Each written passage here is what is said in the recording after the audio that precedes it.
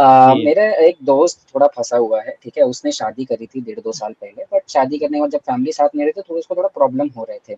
मतलब सास और बहू में झगड़ा और फिर वो थोड़ा अपनी बीवी को लेके अलग हो गया था फिर माँ बाप से कुछ इख्तलाफ भी हो गए थे उसके।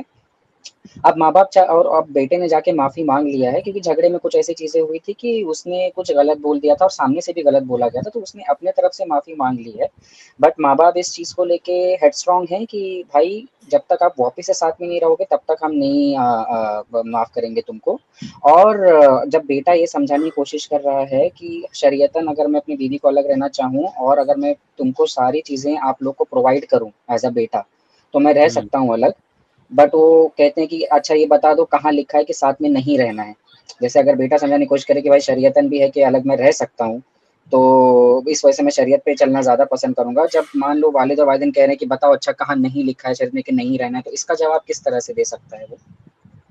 इसका जवाब इस तरह से दे सकता है कि वो उनसे पूछे कि बताओ ये कहाँ पर लिखा है कि बहू अपने सास ससुर के साथ ही रहेगी अलग नहीं रह सकती है।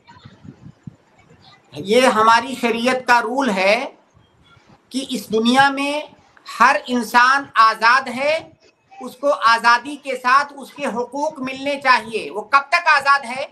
वो उस वक्त तक आज़ाद है इंसान जब तक शरीयत उसके ऊपर कोई हक वा, आ, वाजिब ना कर दे। उस वक्त तक आज़ाद है। एक कायदा अच्छा। है कि अल असलो बरा दिम्मा ये कायदा फ़िकिया है आप किसी भी आलिम दीन से पूछेंगे तो आपको बताएगा।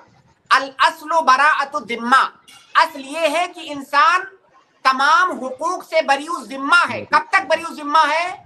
जब तक दलील ना आ जाए कि उसके ऊपर फला हक वाजिब है। अब आपको दलील देना होगा कि आप कैसे साबित करोगे कि सास ससुर के साथ रहना ये बहू के ऊपर वाजिब है क्योंकि बहू असलन आज़ाद है। हम्म, हम्म। तो ये उनको साबित करना होगा कि सास ससुर के साथ बहू का रहना क्यों वाजिब है? क्या दलील है इसकी?